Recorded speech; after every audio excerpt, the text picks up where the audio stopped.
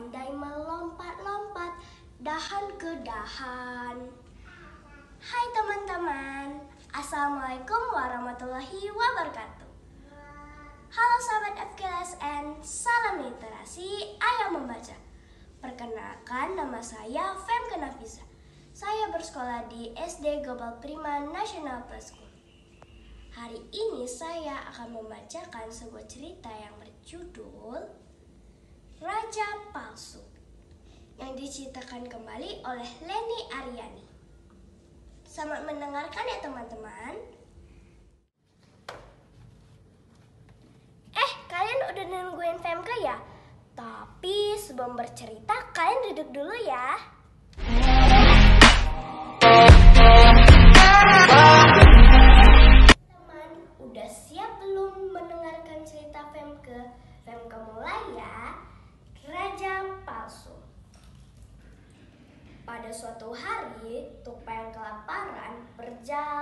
Mengelilingi hutan untuk mencari makan.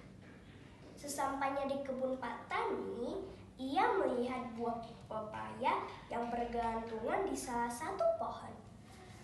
Hmm, manisnya buah itu pasti segar.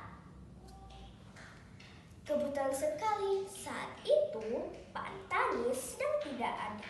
Ia pun dengan bebas bisa memakan pepaya sebanyak-banyaknya.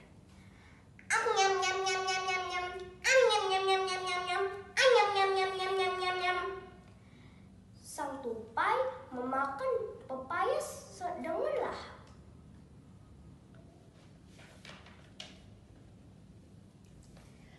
Setelah merasa kenyang, tupai pun bergegas turun dari pohon pepaya. Tapi tanpa sengaja ia terpleset. Biur! Tupai jatuh ke dalam ember yang diletakkan tepat di bawah pohon pepaya.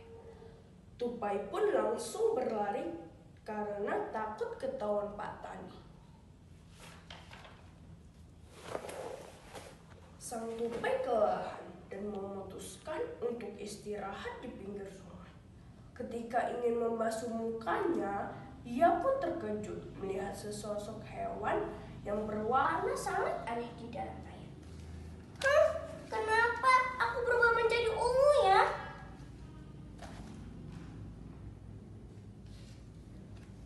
Wah, itu adalah bayanganku. Tapi kenapa aku berubah menjadi ungu ya? Hmm.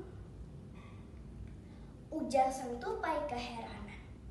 Ternyata ember yang berada di kebun Pak Tani adalah cairan yang membuat seluruh bulunya berubah menjadi ungu. Siapa kau? Aku belum pernah melihatmu di hutan ini. Ujar sang kancil terkejut melihatnya. Tupai merasa senang karena kancil sama sekali tidak mengenalnya. Timbullah niat usil si tupai. Hmm, sebaiknya aku usilin aja nih si kancil ini. Tupai mengubah suaranya. Namaku adalah Raja Ungu. Aku adalah utusan dari Raja Matahari untuk menjadi penguasa hutan ini. Jika dari salah satu kalian tidak mengikuti perintahku, maka Raja Matahari akan mengirimkan hawa panas sehingga kalian semua akan kepanasan. Mendengar hal tersebut, Kancil pun merasa sangat ketakutan. Ia memperkenalkan Tupai sebagai sang Raja kepada penghuni hutan lainnya. Akhirnya mereka pun merasa ketakutan dan mengakui keberadaan Raja Ungu. Sejak saat itu, Tupai menjadi penguasa Raja Hutan. Ia pun dibuatkan sebuah tempat tinggal. Lama-kelamaan, Raja Ungu berubah menjadi semena-mena dan sering menghukum para binatang lainnya tanpa alasan yang jelas. Hei, kamu bersihkan itu. Kamu juga bersihkan itu. Dan kamu ambilkan makanan saya. Namun, tak satu pun penduduk hutan yang berani melawannya. Pada suatu hari, awan berubah menjadi sangat gelap. Pada saat itu, sang Raja Ungu sedang asyik berpesta dengan seluruh penghuni hutan. Tak lama kemudian, hujan pun turun dengan sangat deras. Raja Ungu tidak sampai berteduh dan kehujanan. Aduh, aku hu- kehujanan. Aku tidak sempat berteduh. Mana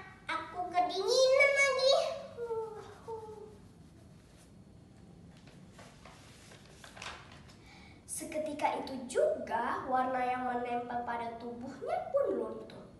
Seluruh penduduk hutan pun terkejut. Hah? Ternyata kau adalah tupai. Teriak sang kancil dan para binatang lainnya pun geram.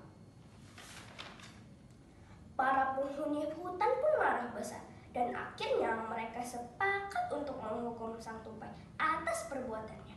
Hah? Ternyata ia berbohong. Apa sebaiknya kita menghukum dia saja ya? Kalian setuju? Setuju!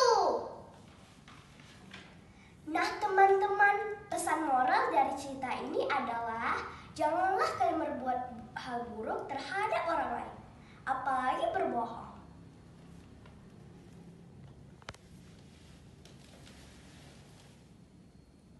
Sekian dari cerita Femke. Semoga bermanfaat ya teman-teman. Jangan lupa like, komen, subscribe, dan share video ini kepada seluruh keluarga kalian. Terima kasih sahabat, FKSN. Salam literasi, ayo membaca. Wassalamualaikum warahmatullahi wabarakatuh.